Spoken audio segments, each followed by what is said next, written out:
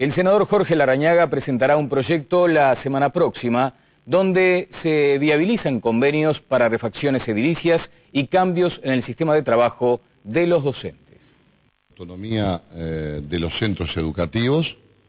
que refiere al profesor eh, Cargo y no al profesor Tassi y que eh, viabiliza la, la posibilidad de hacer convenios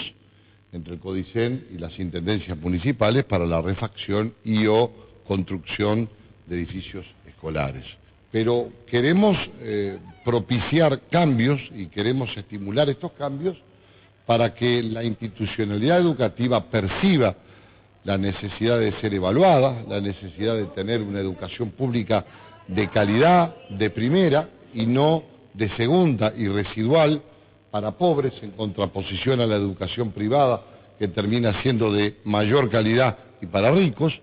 eh, no queremos esa división. Yo creo en una educación pública de primera, creo que tenemos recursos humanos para eso, tenemos una inversión educativa muy importante, precisamos introducir modificaciones que viabilicen soluciones en este sentido.